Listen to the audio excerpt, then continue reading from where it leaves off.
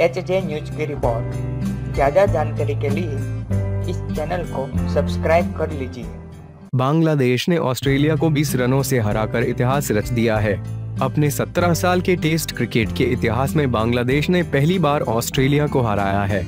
इससे पहले बांग्लादेश ने टेस्ट क्रिकेट में सिर्फ़ जिम्बाब्वे, वेस्ट इंडीज और इंग्लैंड को ही शिकस्त दी थी। टेस्ट में नौवे नंबर की बांग्लादेश टीम ने टेस्ट की पूर्व नंबर एक और मौजूदा चौथे स्थान की टीम ऑस्ट्रेलिया को 20 रनों से हराकर इतिहास रच है। टेस्ट क्रिकेट में बांग्लादेश से हारने वाला ऑस्ट्रेलिया चौथा देश बन गया। साल 2000 में टेस्ट दर्जा मिलने के बाद बांग्लादेश और ऑस्ट्रेलिया के बीच मौजूदा मैच को छोड़कर चार मैच हुए थे। इन सभी मैचों में बांग्लादेश को हार का सामना करना पड़ा था।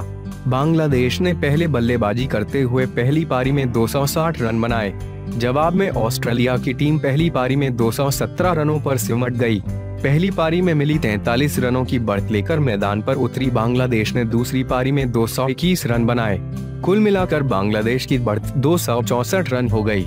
जीत के लिए दो सौ पैंसठ रनों के लक्ष्य का पीछा करने उतरी ऑस्ट्रेलिया की टीम दो रनों पर ढेर हो गई।